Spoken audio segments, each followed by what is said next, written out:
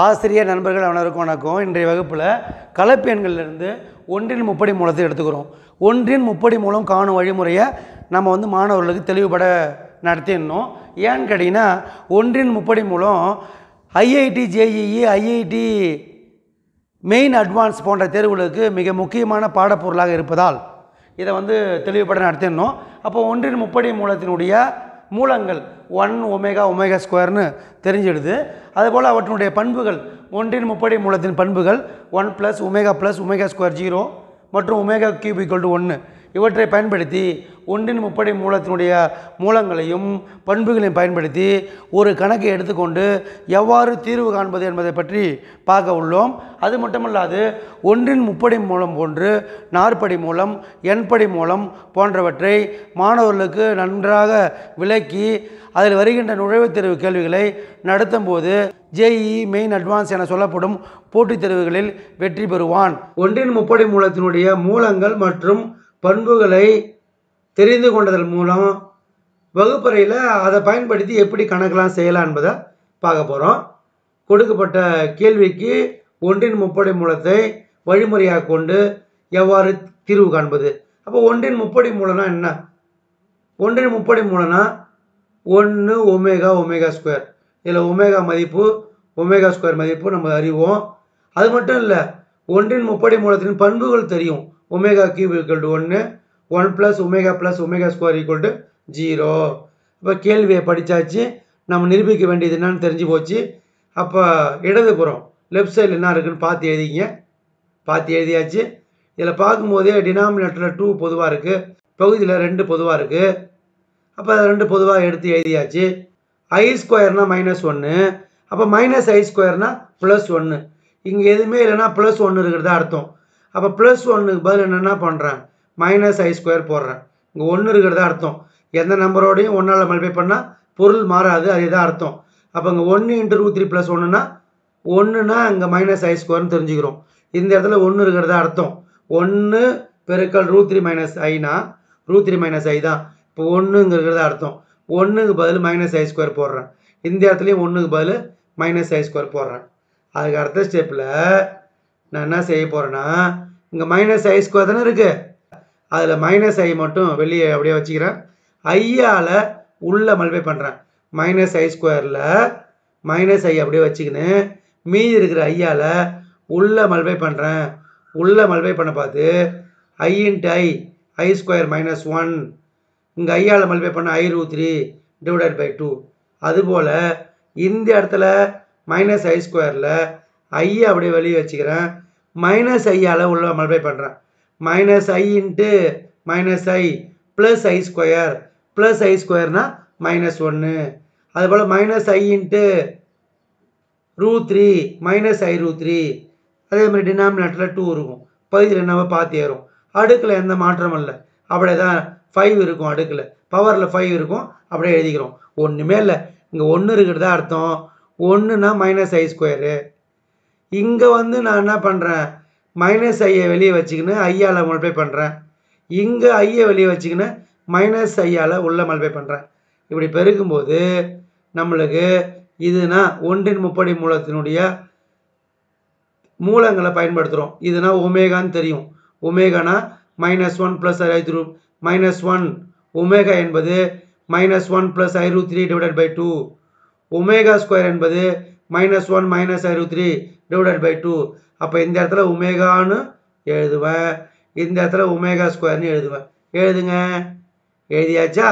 அப்போ minus I omega power five plus ம plus I omega square power five எழுதியாச்சு. அதுக்கு அடுத்த ஸ்டெப்பில் இது ரெண்டுத்துலேயும் ஐ பவர் ஃபைவ் பொதுவாக இருக்குது அப்போ ஐ பவர் ஃபைவ் மீதி என்ன இருக்குது அதை ப்ராக்கெட்டில் எழுதுங்க. Minus omega power five plus omega power two into five omega power டென்னு எழுதலாம். ஓகே அதுக்கு அடுத்த ஸ்டெப்பில் ஐ பவர் ஃபைவ் அப்படின்னா என்ன? ஐ பவர் ஃபைவ்னா ஐன்னு தெரியும். அப்போ ஐ பவர் ஃபைவ்க்கு பதில் ஐன்னு எழுதுங்க. ஒன்றின் முப்படை மூலத்தினுடைய பண்பு ஒமேகா கியூப் ஈக்குவல் டு ஒன்றுன்னு தெரியும். ஒமேகா கியூப் ஈக்குவல் டு ஒன்றுனா ஒமேகா பவர் ஃபைவ் வந்து ஒமேகா ஸ்கொயராக மாறும். இங்கே மைனஸ் இருக்கிறதுனால மைனஸ் எழுதிக்கிறோம். ஒமேகா அடுக்கு மூன்று ஈக்குவல் டு ஒன்று எனும்போது ஒமேகா பவர் பத்தின் மதிப்பு ஒமேகாவாக மாறும். அதுக்கு அடுத்த ஸ்டெப்பில் நம்ம வந்து நோக்கம் எப்பயுமே பார்த்துருக்கணும்.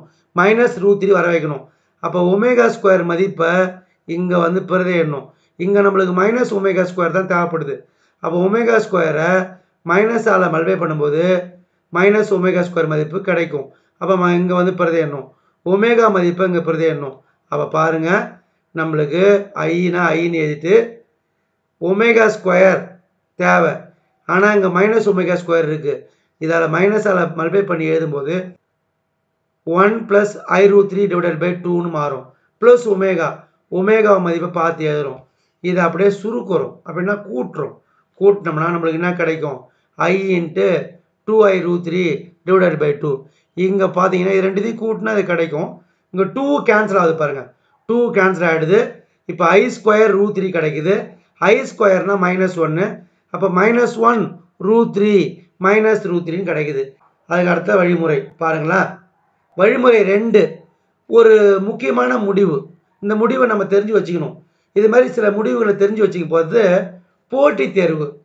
நுழைவுத் தேர்வுகளுக்கு மாணவர்கள் வந்து அங்கே பயன்படுத்தி வெற்றி கொள்வார்கள். எந்த ஒரு மிகை மொழி எண் எண்ணுக்கும் root three plus I whole power N plus root three minus I whole power N equal to two power N plus one cos N pi by six இதே மாதிரி முக்கிய முடிவுகளையும் மாணவர்களுக்கு தெரிகிற அளவுக்கு நம்ம ஏற்படுத்தணும். ஏன்னா இது மாதிரி சில முடிவுகளை தெரிஞ்சிங்கன்னா தான் நுழைவுத் தேர்வு எதிர்கொண்டு வெற்றி பெற முடியும்.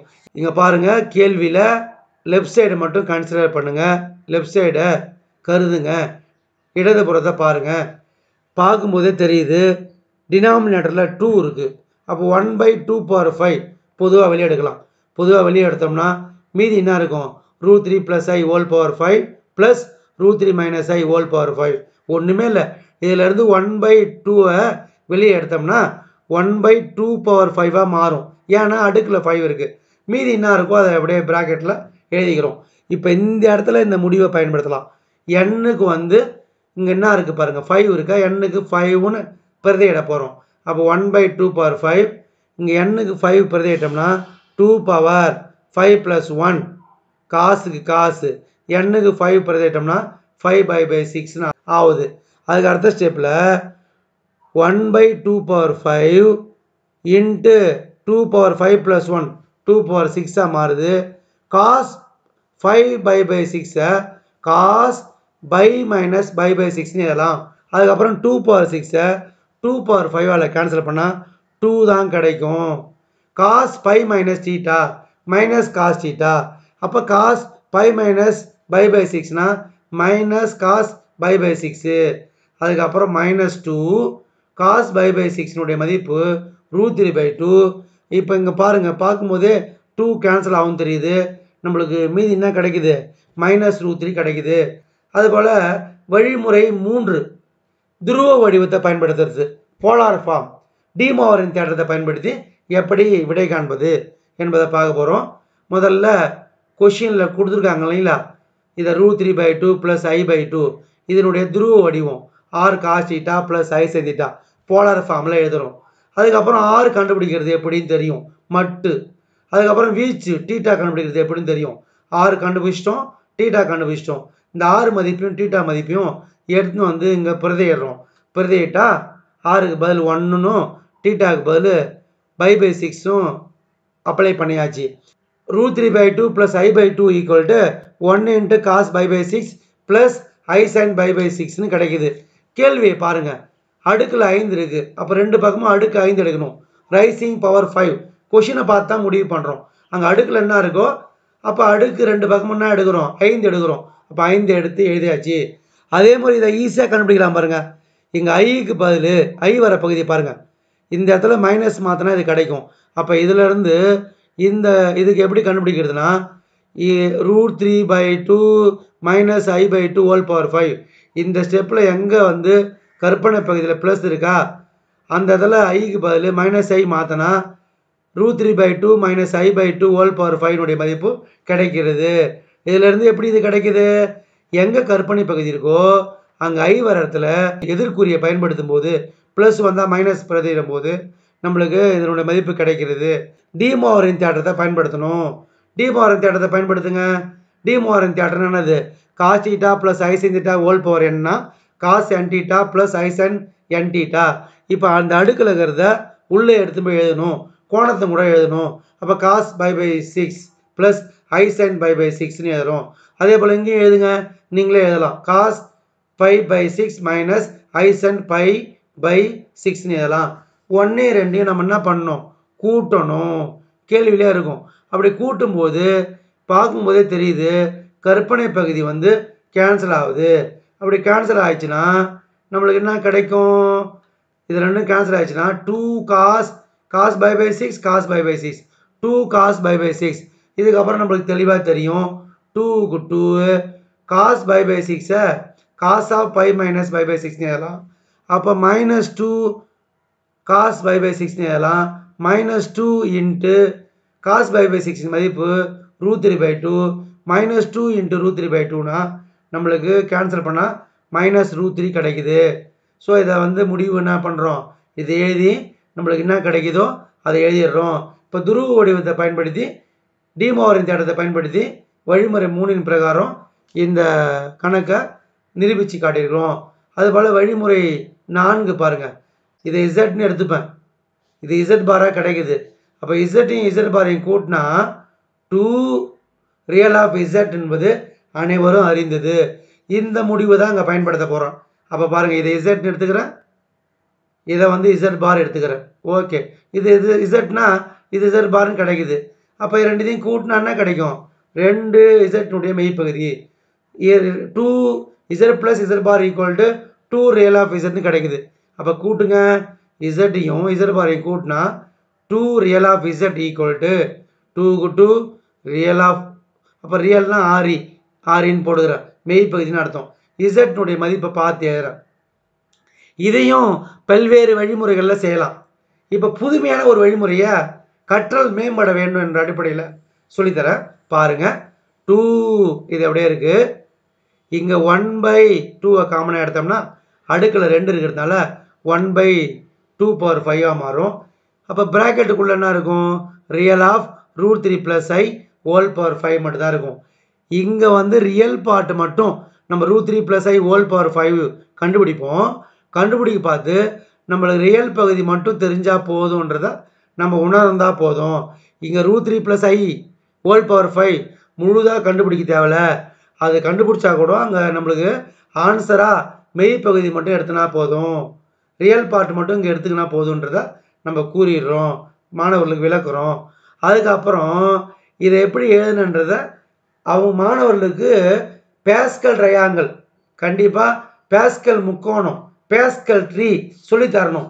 அப்போ A plus B whole power ஃபைவனுடைய சூத்திரத்தை இதிலேருந்து மிக எளிமையாக கண்டுபிடிக்கலாம் என்பதை சொல்லிவிட்டு அதுக்கப்புறம் இங்கே பாருங்களேன் ஏனா ரூட் த்ரீ ஏனா என்னதுங்க?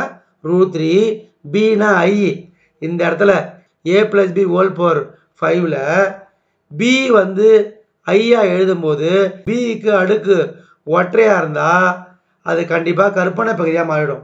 ஏனா ரூட் த்ரீ பினா ஐன்னு எடுத்துக்க போகிறேன் இந்த A plus B whole power ஃபைவ்ல எங்கெல்லாம் பி வருதோ அங்கே ஐன்னு பிரதியிட்டால் அது கற்பனை பகுதியாக மாறும். பி ஒற்றையாக இருக்கு பார்த்து கற்பனை பகுதியாக மாறும். நம்மளுக்கு இங்கே தேவையானது ரியல் பாட்டு தான் மெய் பகுதி தான். அப்போ இங்கே பிரதியிடும்போது பி எங்கெல்லாம் ஒற்றையாக இருக்கோ அது வந்து கற்பனை பகுதியாக மாறும். அதனால் அதை நீக்கிடுறோம். நீக்கிட்டு நீக்கிட்டோம்னா மெய்ப்பகுதினா மாறும்? A power five plus ten A cube B square plus five A B power four கிடைக்கும். இந்த இடத்துல ஏக்கு பதில் ரூட் த்ரீ போட்டுட்டு பிக்கு பதில் ஐன்னு பிரதிட்டோம்னா இது கிடைக்கும். ஏ ரூ த்ரீ பி ஐ எனும்போது இங்கே பி எதெல்லாம் ஒற்றையாக இருக்கோ அடுக்கு ஒற்றையாக இருக்கோ அதெல்லாம் கற்பனையாக மாறும். இங்கே தேவையானது மெய் தான் ஆரி தான். அப்போ கற்பனை நீக்கிவிட்டு இது A power five ten A cube B square five A B power ஃபோரில் ஏவுக்கு பதில் ரூ த்ரீயும் பிக்கு பதில் ஐயும் பிரதிட்டோம்னா இது கிடைக்கும். இதை நம்ம சுருக்கணும்னா நம்மளுக்கு இந்த ஸ்டெப்பு கிடைக்கும். இந்த ஸ்டெப்பை நம்ம கூட்டும்போது நம்மளுக்கு என்ன கிடைக்கும்? One by sixteen into minus root sixteen root three கிடைக்கும். இப்போ சிக்ஸ்டீன் கேன்சல் ஆகிடும் அப்போ கிடைக்கிறது மைனஸ் ரூட் த்ரீ அப்போ நம்ம தேவையான ரிசல்ட்டு கிடைச்சிடும் இது போல் பல்வேறு வழிமுறைகளில் நீங்கள் மாணவர்களுக்கு நடத்தும்போது மாணவர்களுடைய கற்றல் திறன் மேம்படும். அது மட்டும் இல்லாது அனைத்து வகையான நுழைவுத் தேர்வும் அவன் எதிர்கொள்வான். எதிர்கொண்டு நிச்சயமாக வெற்றி பெறுவான். நன்றி.